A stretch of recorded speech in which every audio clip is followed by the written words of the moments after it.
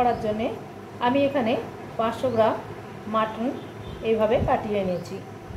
এবার আমি এই মাংসটাকে একটুখানি ম্যারিনেট করে রেখে দেবো আগে। আমি এক চামচ আদা বাটা দিলাম, রসুন বাটা দিলাম এক চামচ, আর আমি এখানে ছোট চামচের এক চামচ হলুদ গুঁড়ো, এক চামচ লঙ্কা গুঁড়ো, একটু জিরে গুঁড়ো আর একটু ধনে গুঁড়ো নিয়েছি। এগুলো সব দিয়ে দিলাম। আর আমি অল্প একটু সর্ষের তেল দিয়ে দিলাম আর অল্প সামান্য নুন আমি দিয়ে দিলাম। দিয়ে আমি এটা ভালো করে মাখিয়ে আধ ঘণ্টার জন্যে চাপা দিয়ে রেখে দেব।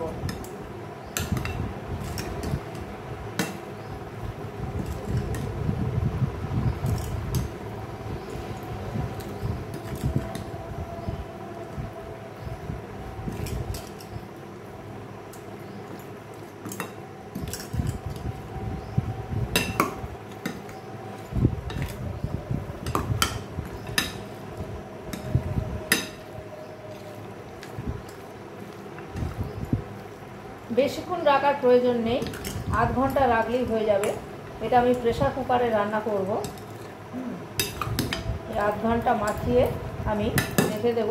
তার মধ্যে আমি অন্য সমস্ত জোগাড়টা করে নেব। যেমন আলু কেটে নেব, পেঁয়াজ কেটে নেব, একটু পেঁয়াজ আমি মিক্সিতে বেটেও নেব। মাংসটা আমি রান্না করার জন্যে গ্যাস জেলে একটা কড়া বসিয়ে দিয়েছি। দিয়ে আমি তার মধ্যে একটু সর্ষের তেল দিয়ে দিলাম।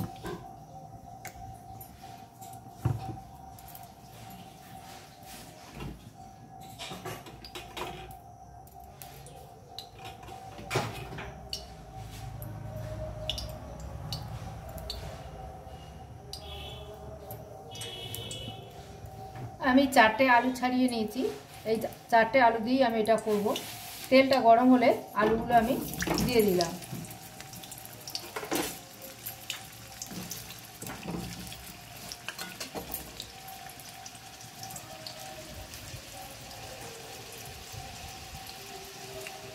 আলুটা আমার লাল করে ভাজা হয়ে গেছে।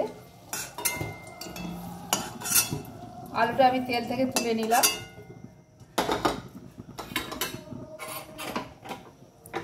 এবার এই তেলের মধ্যে আমি দুটো তেজপাতা দিলাম। অল্প একটু গোটা জিরে আর দুটো এলাচ আমি ফোড়ন দিলাম। এলাচ দুটো আমি ফাটিয়ে দিয়েছি।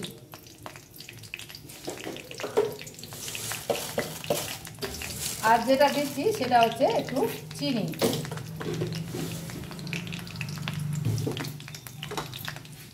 চিনিটা দিলে রঙটা খুব ভালো হয়। তাই আমি একটু চিনি দিলাম। চিনিটা একটু ক্যারামেলের ক্যারামেল করে নিতে হবে।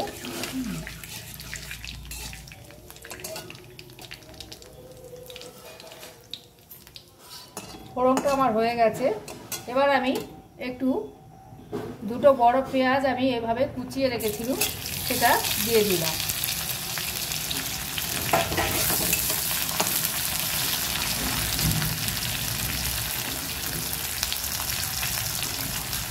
যে রসুন বাটাটা ছিল, সেটাও আমি দিয়ে দিলাম।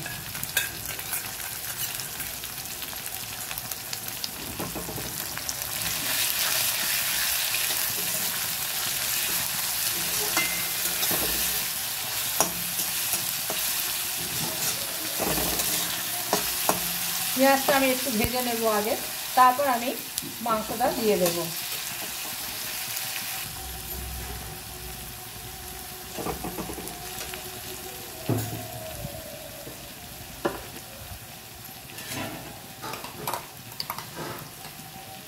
পেঁয়াজটা আমার ভাজা ভাজা হয়ে গেছে। আমি এবার বেটে রাখা পেঁয়াজটা দিয়ে দিলাম।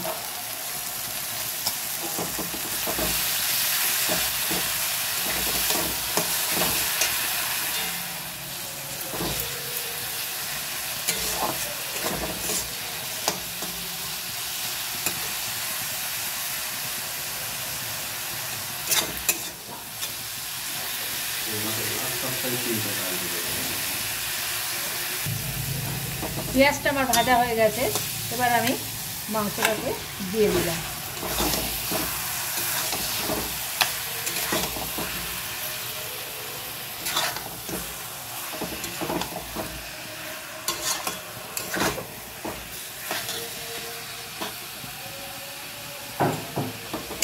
মাংসটা একটু ভালো করে কষিয়ে নিতে হবে।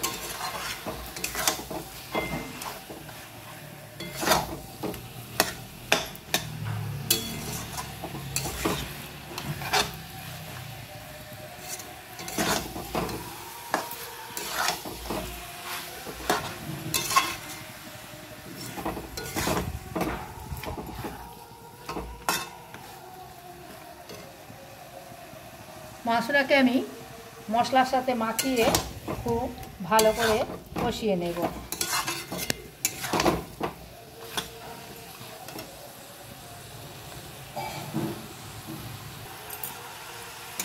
মাংসটা আমার খুব ভালো করে কষানো হয়ে গেছে।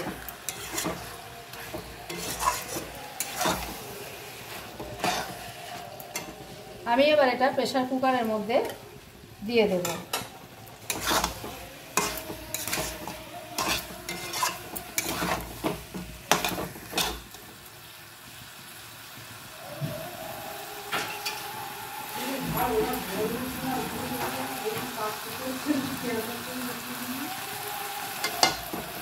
প্রেশার কুকারটা আমি বসিয়ে দিলাম।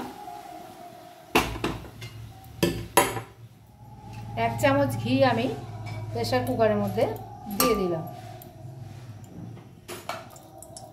কষানো মাংসটা আমি প্রেশার কুকারে দিয়ে দিলাম।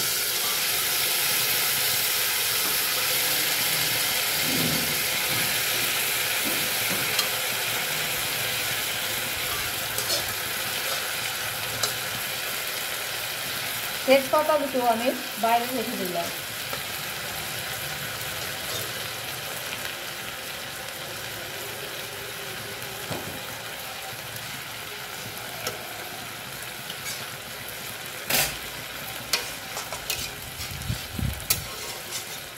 কড়াটা ধুয়ে আমি একটু গরম জল প্রেশার কুকারের মধ্যে দিয়ে দিলাম।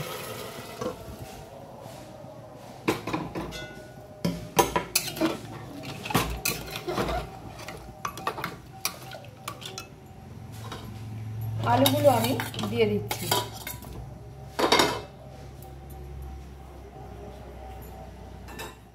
ঝোলটা আপনারা যেরকম পাতলা খাবেন, জলটাও সেরকম দেবেন।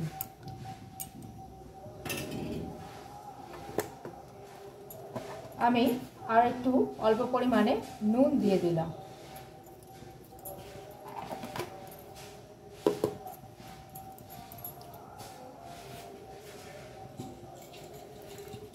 এবার আমি প্রেশার কুকারের ঢাকাটা বন্ধ করে দেব। দিয়ে হাই ফ্লেমে রেখে চারটে সিটি মেরে নেব। মাংসটা আমি প্রথমে দুটো সিটি মেরে দশ মিনিট সিমে রেখেছিলাম। তারপরে আমি আরও দুটো সিটি মেরে এবার ঠান্ডা করে প্রেশারের ঢাকনাটা খুলে দিয়েছি।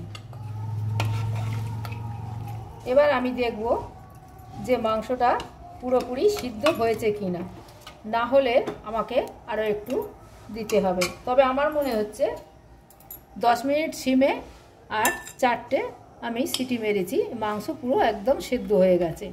সুসিদ্ধ হয়েছে একদম। খুব ভালোভাবে সিদ্ধ হয়ে গেছে। আমি এবার একটু গরম মশলা দিয়ে এটা পরিবেশনের জন্য রেডি করব। তাহলে আমি মোট চারটে সিটি মেরেছি আর দশ মিনিট আমি সিমে রেখে দিয়েছিলাম। দুটো সিটি মেরে দশ মিনিট সিমে রেখেছি, আবার দুটো সিটি মেরে আমি গ্যাসটাকে অফ করে রেখেছিলাম। তারপর স্টিমটা নিজের থেকে বেরিয়ে গেলে আমি ঢাকাটা খুলেছি। এবার আমার মাংসটা পুরোপুরি সিদ্ধ হয়ে গেছে। আমি একটু গরম মশলা পাউডার ছড়িয়ে দিয়ে এটা নাবিয়ে নেব। রেডি হয়ে গেল আমার আজকে মাটনের পাতলা ঝোল। আমি এবার এটা প্রেশার কুকার থেকে একটা পাত্রে ঢেলে নেব। দেখুন, কি সুন্দর দেখতে হয়েছে আর এটা খেতেও খুবই সুন্দর হবে। তাহলে আপনারা যেভাবে বাড়িতে তৈরি করেন, আমি হয়তো সেইভাবে করিনি, জানি না কে কীরমভাবে করেন তবে আমার রেসিপি যদি পছন্দ হয় তাহলে এইভাবে একবার বাড়িতে তৈরি করে খেয়ে দেখতে পারেন। এটা কেমন? খেতে হয়।